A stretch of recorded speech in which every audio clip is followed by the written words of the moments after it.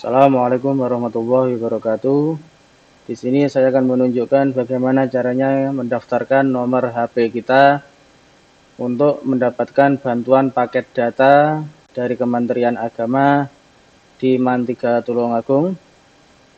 Yang pertama, silahkan akses halaman absensi.mantiga.tulungagung.sch.id Setelah berhasil masuk, silahkan login dengan menggunakan akun masing-masing. Di sini akun yang digunakan adalah username ketika kita masuk ke dalam aplikasi e-learning madrasah. Sekali lagi yang dimasukkan untuk username dan password itu adalah username ketika kita masuk ke dalam aplikasi e-learning madrasah. Yang di, uh, untuk username dan passwordnya ini sama ya selanjutnya kita klik masuk setelah berhasil akan muncul halaman biodata identitas kita yang memuat dari NIS, nama, kelas, serta jurusan kita. Di sini uh, untuk kegiatan kita yaitu permohonan paket data seluler kelas 10 ini nanti sesuai dengan kelasnya masing-masing. Kita centang atau kita klik. Selanjutnya untuk di bawahnya saya akan mengerjakan dengan jujur.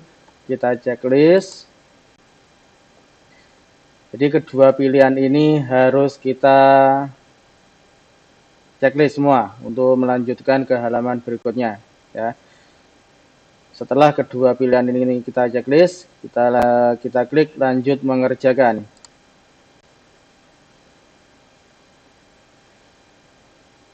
Kita akan diarahkan ke halaman Google Form untuk memasukkan data-data pribadi kita. Silahkan dibaca dengan teliti ya. Setiap informasi yang disampaikan di Google Form ini. Setelah dibaca semua, kita klik berikutnya untuk menuju ke halaman selanjutnya. Silakan diisi dengan data sebenarnya, nama, ini pastikan sesuai dengan nama kita yang asli.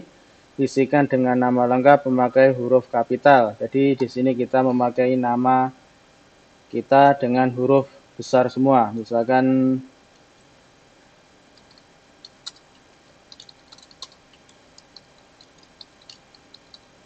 ini. Terus kelasnya jangan sampai salah. Ya jangan sampai salah dalam memilih kelas. Misalkan saya di kelas 12 IPS 3